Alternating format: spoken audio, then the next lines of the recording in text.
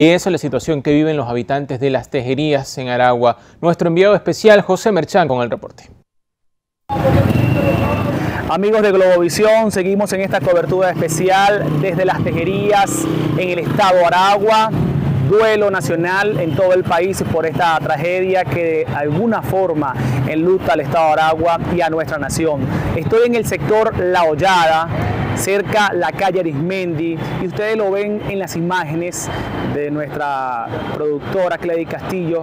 Esto que se encuentra acá son viviendas de la calle Arismendi que fueron totalmente tapiadas, como pueden ver el colapso, y al fondo de la montaña inicia lo que se llama la quebrada El Pato, desde esa zona de la montaña que viene bajando hasta esta calle Arismendi y el sector La Hollada que atravesó todo este sector, es donde ocurren los deslaves que el día domingo en horas de la madrugada se llevó todo a su paso, viviendas, el área comercial, personas damnificadas. Y estamos viendo en el día de hoy las imágenes impresionantes que transmitimos a través de Globovisión. Aquí vemos diferentes organismos del Estado, tanto de Aragua como Nacional, Protección Civil, la Fuerza Armada Nacional Bolivariana, Policía de Aragua, Policía Nacional Bolivariana, también se encuentran el cuerpo de bomberos, el cuerpo de operación con los caninos para la búsqueda de personas. Y esto es una operación en marcha que se ejecuta de manera rápida y el llamado de emergencia que ha hecho el gobierno nacional en esta zona de desastre. Nosotros estamos compartiendo con ustedes parte de lo que se vive en Tejerías. El equipo de Globovisión se encuentra presente durante todos estos días para llevarles hasta su pantalla lo que aquí se vive. Es bastante lamentable, se respira dolor, tristeza y también preocupación porque los habitantes están a la espera de saber si de alguna forma se supone que van a algún refugio, pero qué será el futuro de ellos, si le de alguna forma le van a asignar alguna vivienda, otros preocupados por la parte familiar, que no encuentran a esas personas que están dentro del grupo de desaparecidas que rondan más de los 50, más de 30 personas fallecidas y nosotros estaremos bien atentos para llevarles cada detalle a través de esta cobertura especial en las pantallas de Globovisión.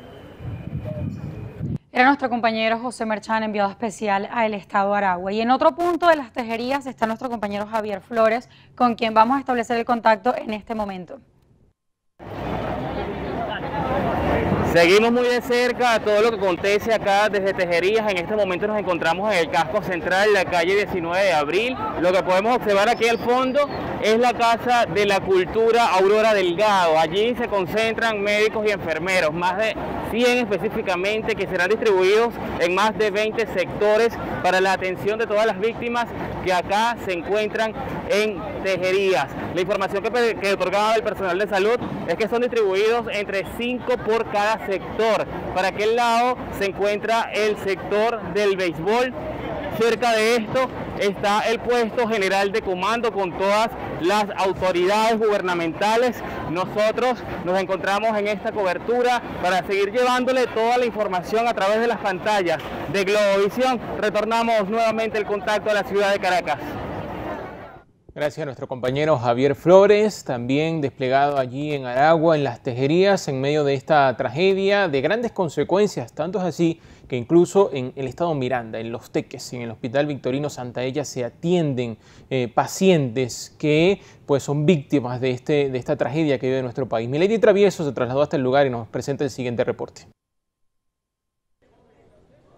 Gracias por el contacto y así es, el equipo de Globovisión se trasladó hasta el Hospital Universitario Victorino Santa Ella Ruiz, ubicado acá en Los Teques del Estado Miranda, justamente donde están siendo atendidos los sobrevivientes por el deslave ocurrido este fin de semana en las tejerías del municipio Santos Michelena en el estado Aragua. Y específicamente, como pueden observar, nos encontramos en el área de emergencia. Ya pudimos constatar que de los 11 pacientes que están acá recluidos, tres ya han sido dados de alta, dos se encuentran en la unidad de cuidados intensivos. Justamente por traumatismo cráneoencefálico y los demás pues están siendo atendidos por el personal médico de esta institución. También pudiéramos mencionar que acá en este hospital se está haciendo entregas de donativos, por lo que usted puede acercarse hasta acá y hacer su donativo. ¿Y qué puede donar? Pues justamente agua potable, alimentos no perecederos,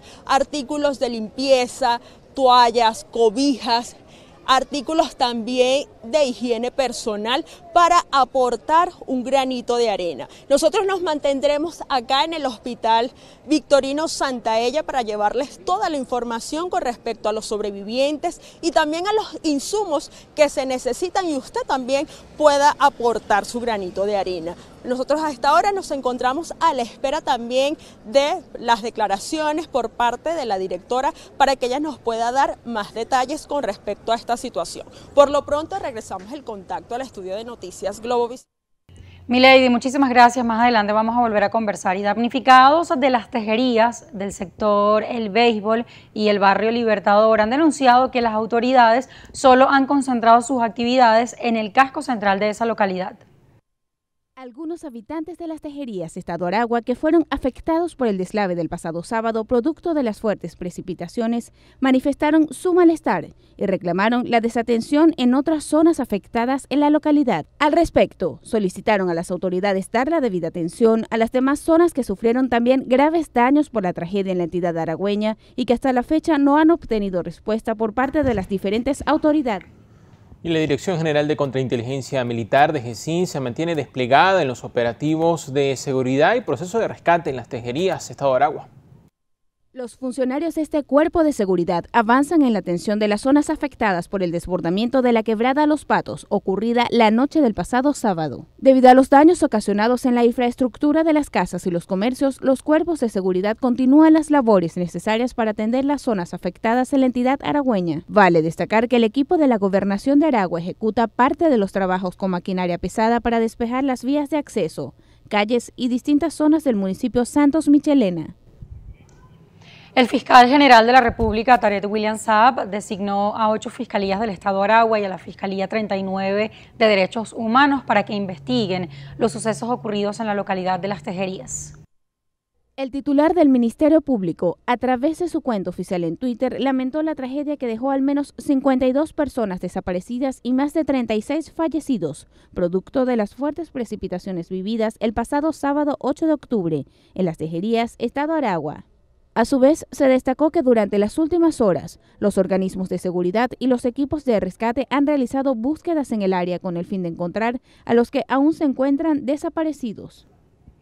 La diputada del Consejo Legislativo por el Estado de Aragua, Fanny García, manifestó la solidaridad del ente parlamentario regional con quienes sufren por esta tragedia. García comentó que meses atrás plantearon la necesidad de realizar foros con respecto al tema del agua, con la intención de referirse a la tala de árboles en las nacientes de los ríos. Asimismo, catalogó lo ocurrido como una tragedia de proporciones incalculables, al tiempo que alertó con algunos dirigentes lo que podría ocurrir en la zona, aunque no sabía el impacto tan grande que tendría. La compañía anónima nacional de telecomunicaciones, CanTV, expresó su solidaridad con las familias afectadas por las fuertes lluvias en la población de Tejerías. Mediante sus redes sociales, la operadora telefónica Digitel señaló que esta decisión se toma consciente de la importancia de las comunicaciones ante los referidos lamentables sucesos. Asimismo, aseguraron que los usuarios de las tejerías también podrán realizar llamadas gratuitas para facilitar las labores de búsqueda y el acercamiento de familiares que actualmente se encuentran afectados. Por su parte, Movistar indicó que continúan sus labores para mantener operaciones en momentos en los que estar comunicados es tan relevante. Por ello, expresó que los mensajes de texto constituyen una forma de comunicación efectiva con menor impacto sobre la estabilidad de red, al tiempo que garantizan la conectividad de un mayor número de clientes Movistar en todas las tecnologías de telefonía móvil. Bueno, ahí está pues la información. Digitel y Movistar que han anunciado la liberación de su servicio de mensajería de texto. Y en materia meteorológica, el Instituto Nacional de Meteorología e Hidrología eh, prevé lluvias de intensidad variable o llovinas aisladas en gran parte del país para la jornada de este martes. El organismo pronostica precipitaciones en zonas del Zulia, los Andes, Llanos Occidentales, Guárico, Falcón, Aragua, Miranda, La Guaira, Distrito Capital, Sucre y Delta Amacuro. En horas del mediodía se espera abundante nubosidad con precipitaciones de intensidad variable, algunas con descargas eléctricas en zonas del Zulia, los Andes, Llanos Occidentales, Centro Norte Costero, Guárico, Amazonas y Bolívar. La temperatura máxima es de 37 grados centígrados en Amazonas y la temperatura mínima es de 12 grados centígrados en zonas montañosas de Mérida. Y volvemos al estado Aragua, establecemos nuevamente el contacto con nuestra compañera Milady Travieso. Ella sigue desde el Hospital Victorino Santaella, en este caso está desde la morgue. Gracias por este contacto y así es, a esta hora nos encontramos específicamente en la morgue del Hospital Universitario Victorino Santaella Ruiz, ubicado justamente acá en los teques del estado Miranda, donde a esta hora ya pudimos constatar que ya han sido trasladados algunos de los cuerpos que dejó la tragedia en las tejerías del estado Aragua. Nosotros pudiéramos mencionar que de acuerdo a la información obtenida por las autoridades nacionales, hasta ahora se reportan 36 fallecidos y 56 desaparecidos por esta tragedia. Por el momento nosotros nos mantendremos acá para conocer los testimonios de algunos de los familiares. Y este es nuestro aporte informativo a esta hora y por lo pronto regresamos el contacto al estudio de noticias Globovisión. Nuestra compañera Milady Travieso desde el Hospital Victorino Santa desde Los Teques. Es tiempo de que hagamos una pausa, Bernardo.